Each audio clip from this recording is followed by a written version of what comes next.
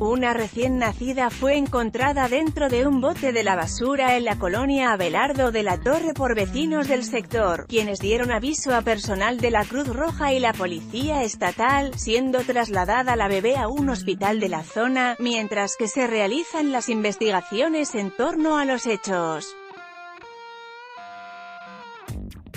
Sociedad De acuerdo con el informe de la Fuerza Tamaulipas, el hallazgo fue a las 8 y 30 de la mañana horas cuando una señora de nombre Aurora, iba caminando y escuchó el llanto de un bebé.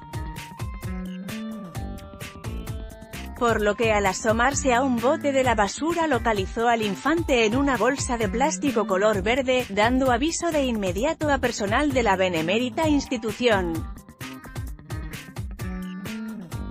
Los paramédicos se percataron que la niña tenía horas de haber nacido al tener parte de su cordón umbilical y aún tenía sangre en su cuerpo, solo la habían envuelto en una sábana y la metieron a una bolsa de plástico dejándola en un bote.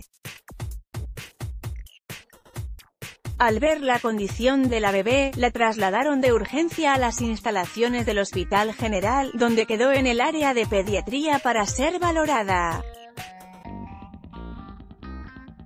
Agentes de la policía e investigadora tomaron conocimiento de los hechos y se integró la carpeta de investigación para poder llevar a cabo las indagatorias y dar con el paradero de la madre. Justicia Sociedad Sociedad